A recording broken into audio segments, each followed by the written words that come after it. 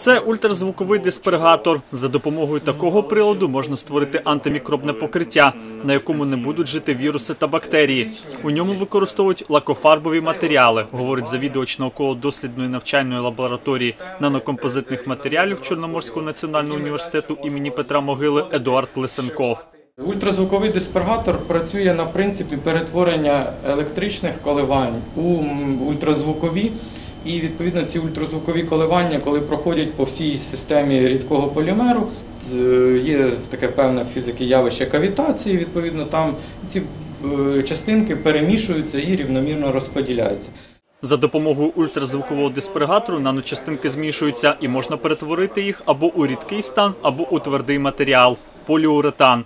Поліуретан це наскільки така складна система і багатофункціональна, що залежно від методу її виготовлення, ми можемо отримувати е, такі матеріали, як дуже міцні, наприклад, з них роблять там підошви або набойки на е, значить, каблуки, або роблять із них. Е, Ці губки і- так далі. Тобто це дуже такий матеріал варіабельний. І цю матрицю ми взяли за основу, щоб ми з нею можемо туди вводити наночастинки різними типами, різними способами. Також у лабораторії є вимірювачі мітансу. Це комплексна електропровідність. За допомогою такого приладу досліджують сенсорні властивості нанокомпозитних матеріалів. Сенсорний матеріал це такий матеріал, який реагує на зовнішні подразники, говорить завідувач науково-дослідної навчальної лабораторії нанокомпозитних матеріалів Едуард Лисенков. Якщо ми будемо е, змінювати тиск на цей сенсор, ну от я чуть-чуть підкачую, там відповідно якийсь тиск зростає, ну і відповідно зростає його електричні е, характеристики, змінюються. І нам не важливо, вони зростають чи спадають, нам важливо, що вони змінюються, і ми, відповідно ми можемо потім відкалібрувати цей.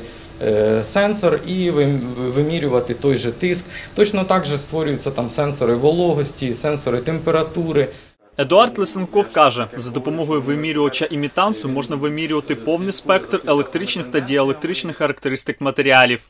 Це і електропровідні матеріали, і нав- нав- навпаки діелектрики е, для створення якихось екрануючих поверхонь, там радіозахист, е, там стелс-системи і так далі. Тобто можна дуже багато застосувань для цих матеріалів примінити.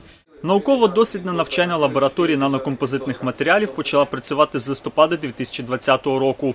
З огляду на те, що Миколаїв перебуває у червоній карантинній зоні, студенти ще не мали нагоди попрацювати з новими приладами, говорить Едуард Лисенков. На сьогодні в лабораторії є три прилади, які працюють з наночастинками: це ультразвуковий диспергатор, вимірювачі мітансу та магнітний змішувач із підігрівом.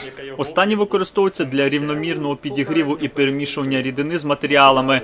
Принцип дії змішувача заснований на використанні енергії магнітного поля, що створюється обертовим магнітом в корпусі змішувача, говорить Едуард Лисенков.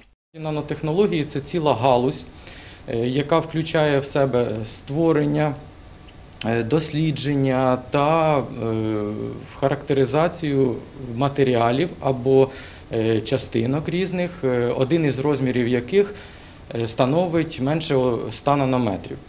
Як е, показує наука, коли ми проходимо цей бар'єр у 100 нанометрів, то відповідно в матеріалу з'являються нові унікальні властивості, яких е, не було, коли він знаходився в макростані.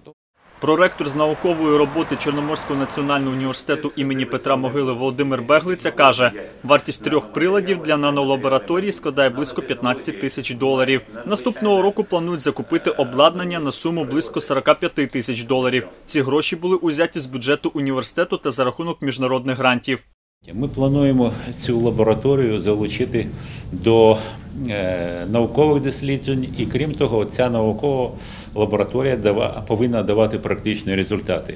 У нас в університеті є медичний інститут. Ми плануємо, що ті розробки, які буде робити нанолабораторія, е, будуть мати прикладний характер. А саме ті різні нові матеріали будуть е, мати якісь антибактеріальні е, властивості. З таким чином це буде те, що зараз потрібно нашому суспільству в умовах пандемії. Олександр Гресь, Юлія Філімон. Новини на Суспільному. Миколаїв.